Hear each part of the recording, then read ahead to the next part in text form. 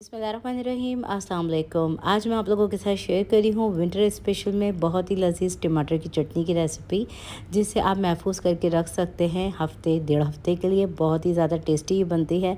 बनाना इसको बहुत ही आसान है और ये रेसिपी किसी सालन से कम नहीं है, जो कि आप बसानी किसी भी चीज़ के साथ सर्व कर सकते हैं। तो वीडियो अच्छी लगी तो इसको लाइक, शेयर ज़रूर कीजिएगा। तो चलिए बनाना स्टार्ट करते हैं इस रेसिपी का। मज़ेदार सी टमाटर की चटनी बनाने के लिए एक किलो टमाटर मैंने ले लिए हैं, जो कि मीडियम साइज़ के हार्ड टमाटर का इस्तेमाल मैं कर रही हूँ। इस मौसम में सख्त टमाटर आते हैं, जिससे ये चटनी बहुत ही मज़ेदार बनती है। तो देखिए, ऊपर वाले हिस्से को मैंने तरह से काट लिया है और टमाटर के दो हिस्सों में मैंने इसको कट कर लिया है। तो यहाँ पर बाकी के तमाम टमाटरों को भी हम इसी तरह से कट कर लेंगे, जिससे ये होगा कि जब हम इसको कुक करेंगे ना तो टमाटर के छिलके आराम से उतार आएँगे। तो देखिए, मैंने यहाँ पे तमाम टमाटर को इस तरह से काट लिया है। इसको कर देते हैं साइड में, नेक्स्ट स्टेप में हम एक खुला डीप पैन ले लेंगे, जिसमें हम डालेंगे तेल, जो कि जाएगा वन फोर्थ कप। मैं यहाँ पे कनूला ऑयल का इस्तेमाल कर रही हूँ। आप इसमें सरसों के तेल का इस्तेमाल भी कर सकते हैं, जिससे और जायकेदार ये चटनी बनेगी। तेल को गर्म कर लिया है तो इसमें वन टी सफ़ेद ज़ीरा डाल देंगे। इसके साथ ही मैं डाल रही हूँ इसमें हाफ़ टी स्पून राई दाना और इन दोनों चीज़ों को हल्का सा सौटे करने देंगे। क्रैकल आने तक हमने इसको फ्राई करना है। जब इसमें हल्के हल्के से क्रैकल आना स्टार्ट हो गए हैं तो इसमें हम डालेंगे कड़ी पत्ते। तो मुट्ठी भर कड़ी पत्ते ले लिए हैं, जिसको मैं तोड़ के डाल रही हूँ इस तरह से हाथों से। कड़ी पत्ता डालने से टमाटर की चटनी में बहुत ही अच्छा फ्लेवर आएगा। अगर आपके पास ना हो तो इसको स्किप कर सकते हैं। अब इसमें छः अदद लहसन के जवे शामिल कर देंगे, जिसको मैंने रफली काट लिया है। इसको भी हम हल्का सा गोल्डन ब्राउन होने तक फ्राई कर लेंगे सभी चीज़ों के साथ। अच्छा जी, यहाँ पे लहसन हमारा फ्राई भी हो रहा है तो इसमें मैं शामिल करी हूँ एक अदद छोटी वाली हरी मिर्च। मिर्चें कम या ज़्यादा टेस्ट के अकॉर्डिंग शामिल कर सकते हैं। तो ये एक अदद हरी मिर्च मैंने शामिल कर दी है, सौते कर लिया है मैंने ऐसे अब हम कटे हुए टमाटरों को इस तरह से रखेंगे और फैला देंगे सभी टमाटरों को। अब टमाटरों को मीडियम टू लो फ्लेम पे हमने इतना पकाना है कि बिल्कुल सॉफ्ट हो जाए और टमाटरों के छिलके बिल्कुल अलग हो जाए। तो कर देते हैं इसको cover, medium to low flame पे पंद्रह मिनट के लिए इसको कुक करेंगे। अब तकरीबन पंद्रह मिनट गुजर चुके हैं तो चेक कर रहे हैं टमाटरों को। तो टमाटर हमारे सॉफ्ट हो चुके हैं, छिलके अलहदा होने लगे हैं तो हम इसको हल्का हल्का सा मैश करेंगे। तो स्पैचला स्पून की मदद से मैं इसको मैश कर रही हूँ, ताकि छिलके हमारा अलहदा हो सकें और इसका गुदा जो टमाटरों का है ना, वो हम अच्छी तरीके से मैश कर सकें।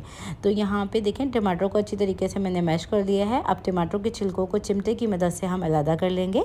अब सभी टमाटरों के छिलकों को ना हम एक एक करके अलहदा कर लेंगे। तो देखें, इस तरह से जब आप टमाटरों को कट करते हैं ना तो बासानी छिलके अलहदा हो जाते हैं। अगर छोटे छोटे टुकड़ों में आप डालेंगे ना तो टमाटर के छिलके जो है ना, वो इसी चटनी में रह जाएँगे, अलहदा नहीं होंगे, जो बुरे लगते हैं मुँह में आते हुए। तो यहाँ पर सारे छिलकों को उतार लेने के बाद मैंने पाँच मिनट के लिए इसको फिर दोबारा से कवर कर दिया था चटनी को। अब चटनी में मैं शामिल करी हूँ नमक, हसबे ज़रूरत। मैंने डाला है तकरीबन हाफ़ टी स्पून से थोड़ा सा ज़्यादा। पिसी हुई लाल मिर्चों का पाउडर हाफ़ टी स्पून से थोड़ा सा ज़्यादा मैंने शामिल किया है। तो थ्री फोर टी स्पून नमक और थ्री फोर टी स्पून मैंने पिसी हुई लाल मिर्ची शामिल की हैं। सभी चीज़ों को अच्छी तरीके से मिक्स कर लेंगे। अब मैशर ले लेंगे। मैशर की मदद से इस चटनी को आपने बहुत अच्छी तरीके से मैश करना है।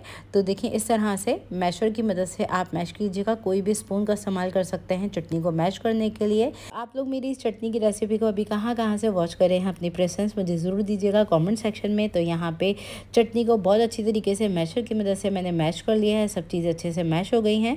तो अब हम इसको पाँच से छः मिनट के लिए मीडियम टू लो फ्लेम पर मज़ीद पकाएँगे। तो यहाँ पर आप नमक इसमें ज़रूर चेक कर लीजिएगा, अगर कम लगे तो आप इस स्टेज पर नमक शामिल कर सकते हैं। तो अब चूल्हे की आँच को बंद कर देंगे और उसको कम्प्लीटली ठंडा कर लेंगे। तो देखिए मैंने चटनी को रूम टेम्परेचर पर बहुत अच्छी तरीके से ठंडा कर लिया है। जब ये रूम टेम्परेचर पर ठंडी हो गई है तो इसमें मज़ीद चीज़ें ऐड करेंगे हम। चटनी में हम मीडियम साइज़ की बारीक कटी हुई प्याज शामिल करेंगे। साथ ही मैं डाल रही हूँ हरी प्याज का वाइट वाला ये पोर्शन जो कि मैंने थोड़ा सा ले लिया था टू टेबल स्पून के आसपास। ये भी बारीक बारीक काट के डाल दी है। एक टेबल स्पून के आसपास मैं डाल रही हूँ उसके अंदर हरी मिर्चें, जिसके मैंने बीज निकाल लिए थे। ये मोटी वाली हरी मिर्चें हैं और साथ ही मैंने शामिल कर दिया है इसके अंदर डंडियों समेत मुट्ठी भर हरा धनिया और लेमन जूस मैं इसमें शामिल करी हूँ, जो कि जाएगा टू टेबल स्पून भर के। तो लेमन जूस डालने से ना बिल्कुल बैलेंस बनेगी ये चटनी। अगर आपको लग रहा है कि अभी ये खट्टी है तो बिल्कुल भी खट्टी नहीं बनेगी, क्योंकि आगे हम और भी चीज़ें इसमें शामिल करने वाले हैं। नमक डालेंगे इसमें काला नमक, जो कि जाएगा तकरीबन वन फोर टी स्पून पिसी हुई चीनी का इस्तेमाल मैं कर रही हूँ, जो कि बैलेंस बना देगा इस चटनी को, जो कि मैंने डाली है डेढ़ टेबल स्पून इस सभी चीज़ों को डाल के अच्छी तरीके से मिक्स कर लेंगे हम।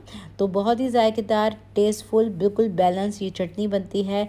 एक मरतबा इस रेसिपी को ज़रूर ट्राई कीजिएगा। इन आप लोगों के घर में सबको ज़रूर पसंद आएगी। पराठे बनाएँ या पुलाव बनाएँ बनाएँ, इस रेसिपी को ज़रूर ट्राई कर लीजिए। वीडियो अच्छी लगी तो उसको लाइक शेयर करना मत भूलिएगा।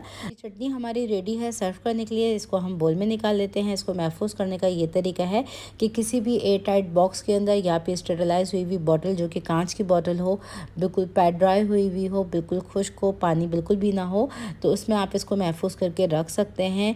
और चटनी के अंदर आप अगर स्टोर करना चाह रहे हैं तो प्याज बिल्कुल भी मत शामिल कीजिएगा। और बाकी चीज़ें आप शामिल करने के बाद इसको महफूज करके फ्रिज में रख सकते हैं। ये थी आज की क्विक इजी टमाटर की चटनी की रेसिपी उम्मीद करती हूँ रेसिपी वीडियो इंशाल्लाह आप लोगों को ज़रूर पसंद आएगी। वीडियो को लाइक शेयर कर दीजिएगा। नेक्स्ट रेसिपी वीडियो तक लिए टेक केयर अल्लाह हाफिज़।